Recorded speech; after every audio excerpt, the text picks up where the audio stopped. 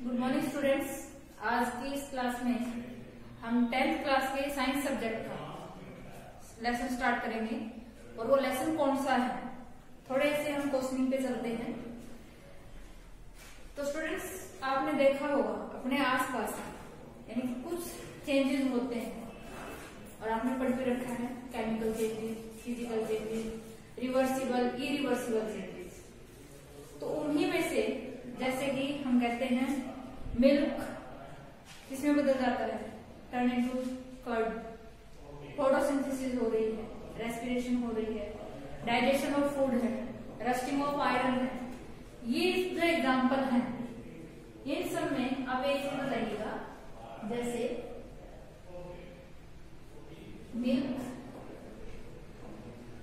change into curd digestion of food respiration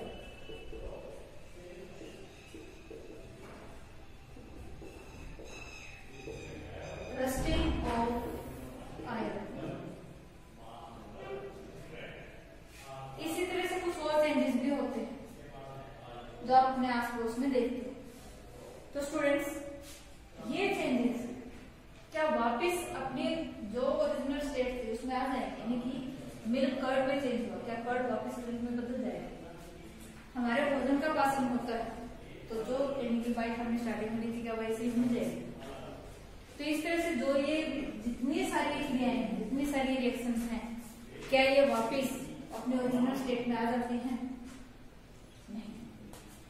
तो कौन सी changes हो गई? रिवर्सिबल चेंजेस अब यहाँ पर, यानी कि क्या हुआ कि जो सब्सटेंस था, उससे नए सब्सटेंसेस बने।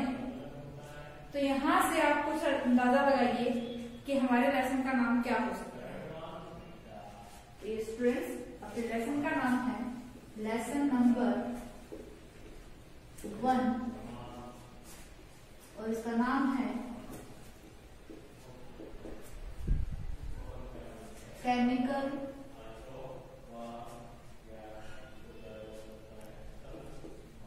reaction and chemical equation.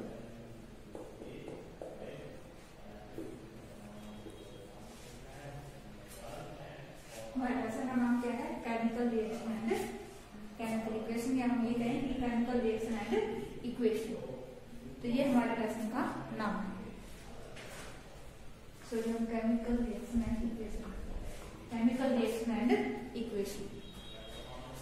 अब इतना करने के बाद अपने पास केमिकल रिएक्शन की एक डेफिनेशन लिखनी कि केमिकल रिएक्शन है क्या?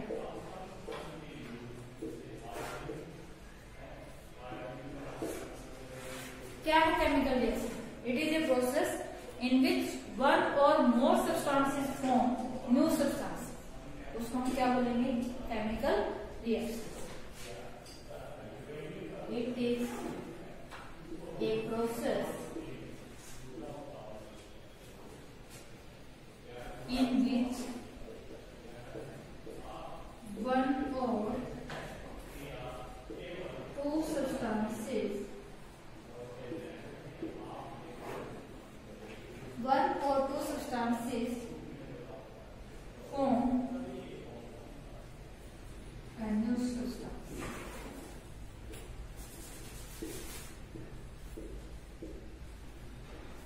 इसको हम क्या बोलेंगे केमिकल रिएक्शन यानी कि वो प्रोसेस जिसमें एक या एक से ज़्यादा सब्सटेंसेस जो है वो नए सब्सटेंसेस बनाते हैं उनको हम क्या बोलते हैं केमिकल रिएक्शन अब इसको हम जो है किसी फ़िज़िकल मेथड के द्वारा रिवर्स नहीं कर सकते।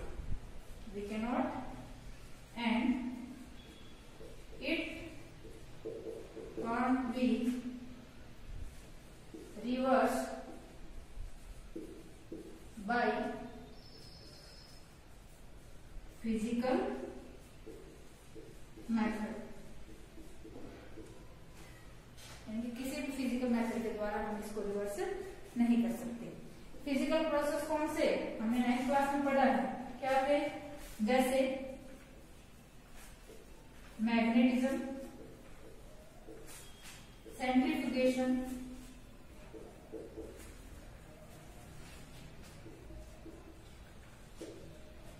फिल्ट्रेशन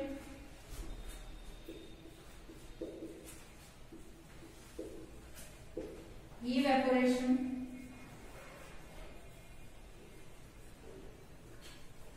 ये कुछ फ़िज़िकल मेथड जो हम नाइन्थ क्लास में पढ़ चुके हैं तो ये वो मेथड हैं जिनके द्वारा हम इनको रिवर्स नहीं कर सकते फिर आता देखो कि केमिकल रिएक्शन में क्या क्या स्टेप्स इन्वॉल्व होते हैं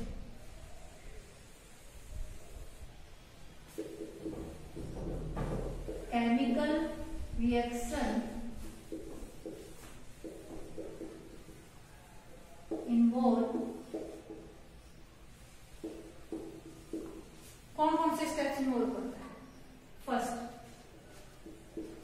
change in state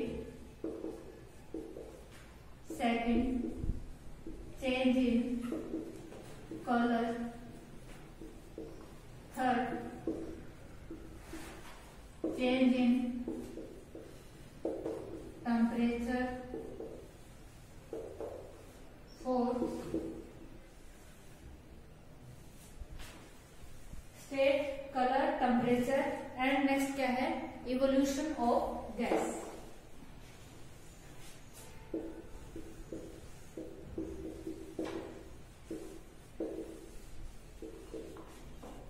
तो student change in state state में क्या अवस्थाओं में परिवर्तन यानी कि जब केमिकल रिएक्शन होती है तो उसके स्टेट में चेंजेस होते हैं कैसे कि सॉलिड है सॉलिड से लिक्विड लिक्विड से गैस में तो सॉलिड लिक्विड गैस तीनों क्या है स्टेट है तो डिफरेंट टाइप ऑफ़ स्टेट्स में जो है चेंज होगा तो हम क्या समझेंगे कि क्या हो रहा है? Chemical reaction next change in colour अगर कलर में फ़र्क आ जाता है तब भी हम क्या कहेंगे?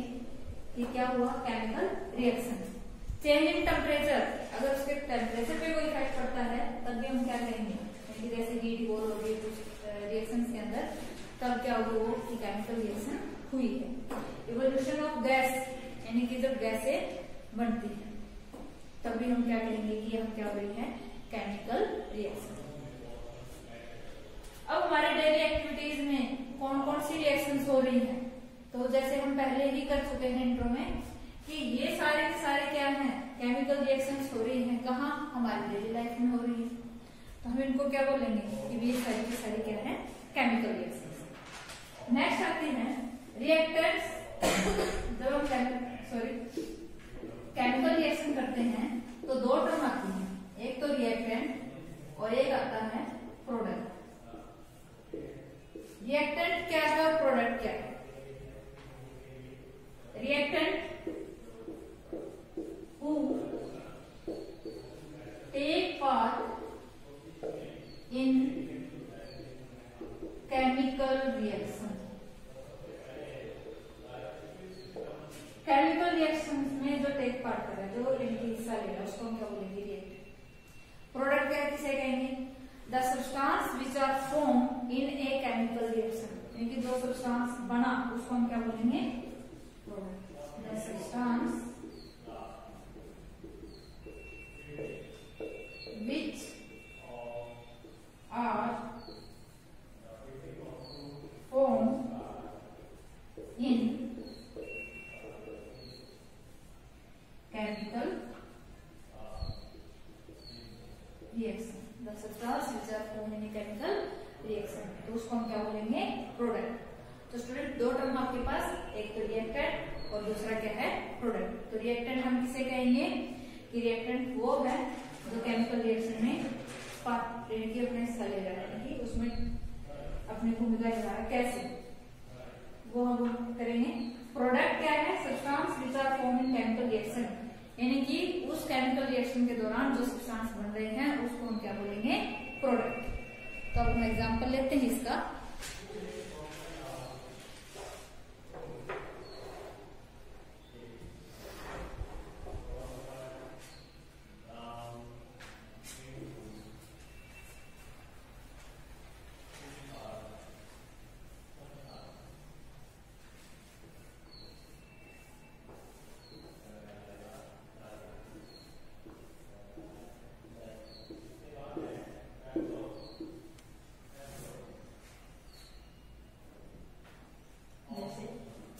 एक हमने ली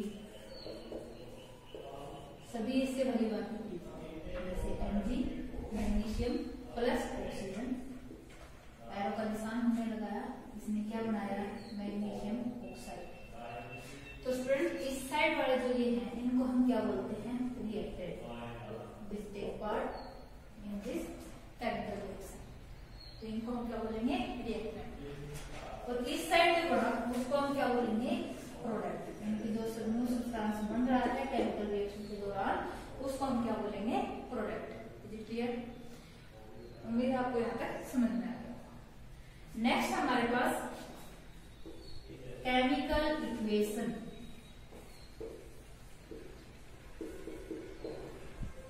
अभी केमिकल इक्वेशन क्या होती है? A chemical reaction can be represented by chemical chemical equation क्या है? A chemical reaction can be represented by chemical equation. कि केमिकल रिएक्शन को हम केमिकल इक्वेशन के द्वारा क्या करते हैं? रिप्रेजेंट करते हैं।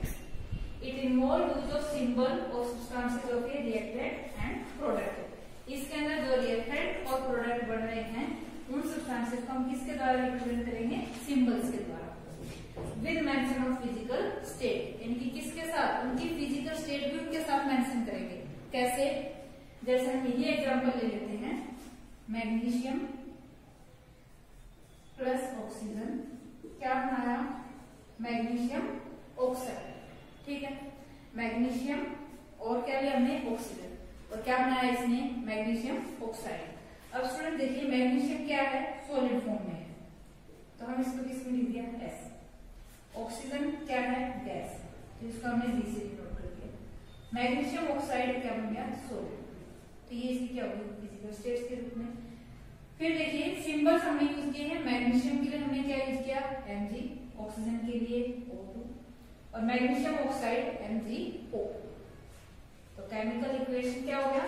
जिसके अंदर, यानी कि एक केमिकल रिएक्शन है जो रिप्रेजेंट करती है किसके द्वारा? केमिकल इक्वेशन के द्वारा। तो ये केमिकल इक्वेशन इसमें हम जो सिंबल्स यूज़ करते हैं तो ये हमने क्या किए हैं? सिंबल्स यूज़ किए हैं। और साथ में इसमें हमने क्या यूज़ की फ़िज़िकल स्टेट कि भाई सॉलिड है लिक्विड है जैसे सॉलिड लिक्विड गैस और एक्वस ये लिखने हैं तो हमें कैसे लिखेंगे? सॉलिड को एस से लिक्विड को एल से गैस को जी से, और एक्वस को ए क्या से तो इस तरह से हम इनको क्या करेंगे? रिप्रेजेंट नेक्स्ट है एक्वस सॉल्यूशन कि एक्वस सॉल्यूशन क्या होता है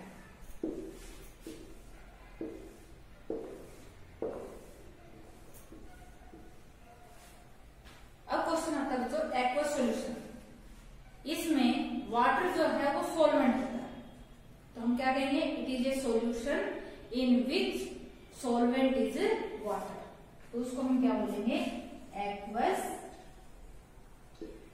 सोल्यूशन